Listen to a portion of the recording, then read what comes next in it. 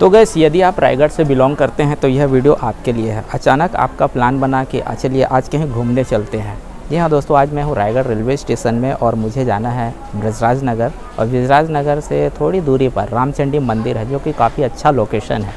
यदि आप सुबह उठे और अचानक सोच रहे हो कि आज कहीं घूमने जाना था तो बिल्कुल तैयार हो जाइए। सुबह 10 बजे तितलागढ़ ट्रेन आती है और ब्रिजराज नगर के लिए निकलती है। तो आज हम देखेंगे माता रामचंडी मंदिर दर्शन करेंगे। वीडियो पे बने रहिएगा। तो चलिए चलते हैं। हमारी तीतलागढ़ गाड़ी यहाँ पे पहुँच चुके हैं रायगढ़ रेलवे स्टेशन। और काफ़ी लेट हुई। अभी बज रहे हैं ग्यारह। तो चलिए चढ़ते हैं। तो गैस फाइनली हम ट्रेन पर हैं और यहाँ पे सीट का कोई इशू नहीं है। खाली है। और कुछ इस तरह का व्यू है। तितलागढ़ लोकल ट्रेन चलिए चलते हैं और देखते हैं आगे के व्यू को।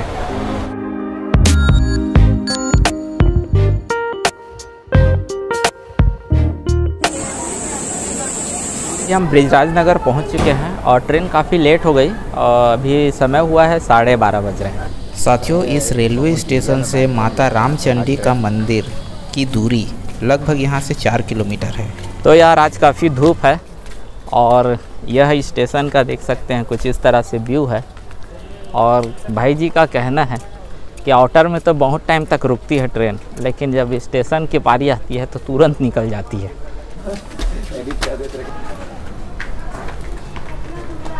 तो यहाँ पे हमारी बोतल खाली हो गई थी। यहाँ से हम पानी भर लेते हैं। स्टेशन के बाहर का कुछ इस तरह से व्यू।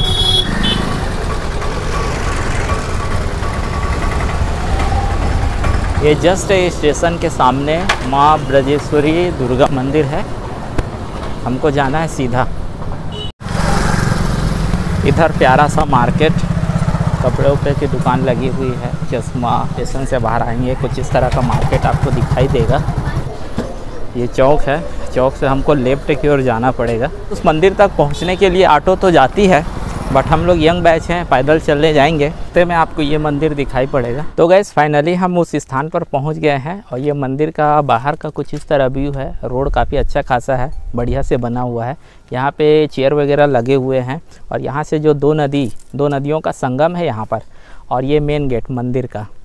अभी अंदर चलते हैं। यहाँ पे बड़े बड़े शेर यहाँ पे बना हुआ है मेन गेट के पास और ये बड़ा सा गेट हालाँकि अभी ये पहाड़ के ऊपर हम हैं नीचे की ओर जाना पड़ेगा। थोड़ा सा अंदर आए कि ही राइट साइड में एक छोटा सा गार्डन है जो कि अभी बन रहा है नवनिर्मित है।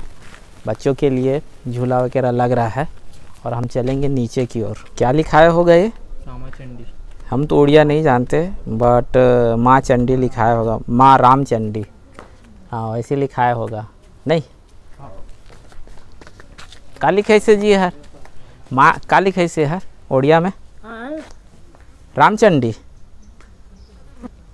तो यहाँ पे भव्य जो व्यू पॉइंट की तरह यहाँ पे लिखा है, माँ रामचंडी मंदिर। हालाँकि हम उड़िया नहीं समझते हैं बट ऐसा प्रतीत हो रहा है, लिखा ही होगा, माँ रामचंडी। यहाँ पे कॉम्प्लेक्स वगैरह है, दुकानें वगैरह है। हालाँकि आज बंद है दुकान, एक दुकान खुली हुई है।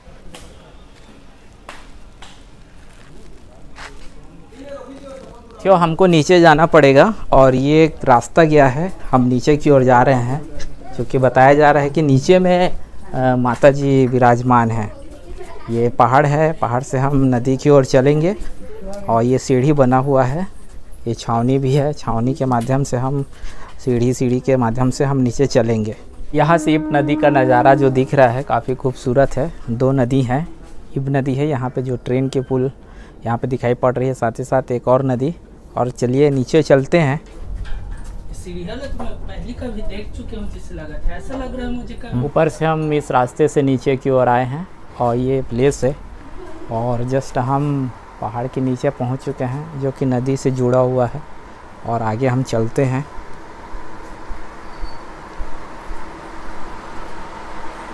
और ये माता जी इसी गुफा में विराजमान है।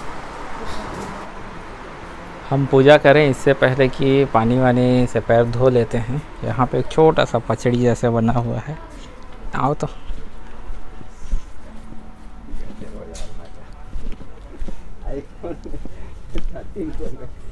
खतरा है यहाँ पे। मतलब यहाँ पे ना आए। यहाँ पे कई गड्ढा हो सकता है। ये मंदिर है और ये नदी है। और ये नदी के जस्ट किनारे यह मंदिर बना हुआ है। ये छोटा सा पचड़ी है जो कि इधर श्रद्धालुगढ़ यहाँ पे हाथ पैर धो रहे हैं। हाथ पैर धो लिए जी अशोक भाई। बहुत बढ़िया लगा। पानी एकदम ठंडा है और बहुत रिलैक्स लगा है यहाँ पे।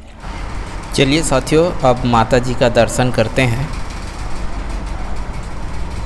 जय माता दी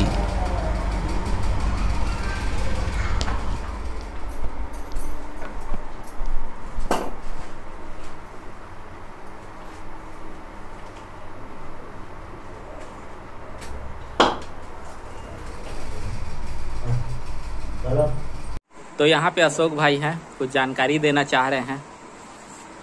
जब भी आप यहाँ आते हैं तो आपको जहाँ भी आप नारियल लेते हैं, पूजा के सामान लेते हैं, वहाँ पे ये डंडी दिया जाता है। डंडी इसलिए कि यहाँ पे बंदर बहुत ज़्यादा है, उनको भगाने के लिए, अपनी सुरक्षा करने के लिए। हालाँकि ये उतना भी प्रबल डंडी नहीं है कि बाबा लोग जो होते हैं, पकड़ के ऐसे ऐसे ऐसे करके चलते हैं, वो वाला ये डंडी नहीं है।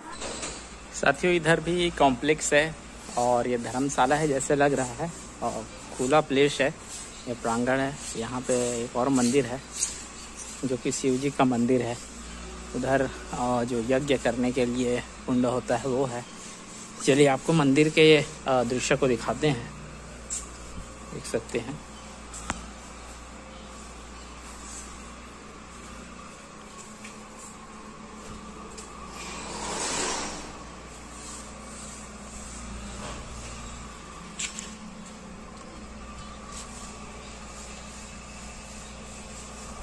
तो साथियों, आज के वीडियो में बस इतना ही। आई होप यह वीडियो आपको पसंद आया होगा। यदि पसंद आया होगा तो लाइक कर दीजिएगा। हमारे चैनल पर नए हैं तो सब्सक्राइब कर दीजिएगा।